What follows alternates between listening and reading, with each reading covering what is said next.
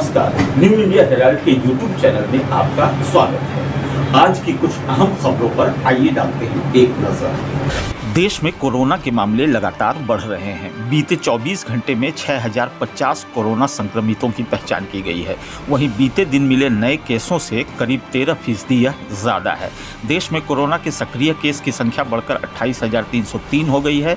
इसे देखते हुए केंद्रीय स्वास्थ्य मंत्री मनसुख मंडाविया की अध्यक्षता में आज सभी राज्यों के स्वास्थ्य मंत्रियों की एक उच्च स्तरीय बैठक भी हुई। आंध्र प्रदेश के पूर्व मुख्यमंत्री किरण कुमार रेड्डी भाजपा में शामिल हो गए। किरण कुमार रेड्डी ने नई दिल्ली में भाजपा की सदस्यता ग्रहण की। दक्षिण में अपने पैर पसारने की तैयारी कर रही भाजपा के लिए यह एक बड़ी सफलता है। किरण रेड्डी ने बीती 12 मार्च को कांग्रेस अध्यक्ष मल्लिकार्जुन खड़गे को अपना इस्तीफा भेजा था। दिल्ली के पूर्व उप मुख्यमंत्री मनीष सिसोदिया ने जेल से चिट्ठी लिखकर प्रधानमंत्री नरेंद्र मोदी पर निशाना साधा है। ट्विटर पर शेयर इस चिट्ठी में मनीष सिसोदिया ने लिखा है कि देश के प्रधानमंत्री का कम पढ़ा लिखा होना देश के लिए बेहद खतरनाक है। उन्होंने लिखा कि नरेंद्र मोदी विज्ञान की बातें और शिक्षा का महत्व नहीं समझते हैं। सरकार ने पिछले कुछ सालों में साठ हज़ार स्कूलों को बंद किया है। भारत की तरक्की के लिए पढ़े लिखे प्रधानमंत्री का होना ज़रूरी है। कांग्रेस नेता नवजोत सिंह सिद्धू ने शुक्रवार को कांग्रेस अध्यक्ष मल्लिकार्जुन खड़गे से मुलाकात की। मुलाकात की तस्वीरें अपने ट्विटर हैंडल से शेयर करते हुए सिद्धू ने लिखा, नौ बार के विधायक, तीन बार सांसद, वंचितों के हितों की बात करने में चैंपियन, सच्चाई की आवाज़, विश्वसनीयता का नाम मल्लिकार्जुन खड़गे। उन्होंने लिखा, कांग्रेस अध्यक्ष से मिलकर उनका आशीर्वाद दिया वे कांग्रेस पार्टी के लिए सकारात्मक ऊर्जा और किस्मत लेकर आए हैं।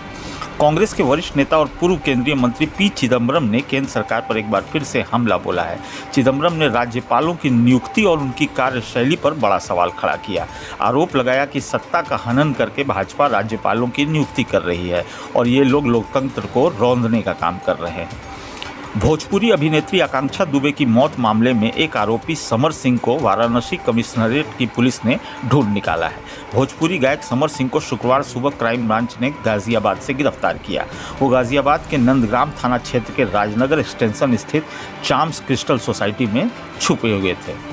केंद्र सरकार ने घरेलू प्राकृतिक गैस की कीमत तय करने के लिए नए फार्मूले को मंजूरी दी है। साथ ही सीएनजी और पाइप से आपूर्ति की जाने वाली रसोई गैस की कीमतों की अधिकतम सीमा भी तय कर दी। इससे सीएनजी व पीएनजी के दाम 10 फ़ीसदी तक घट जाएँगे।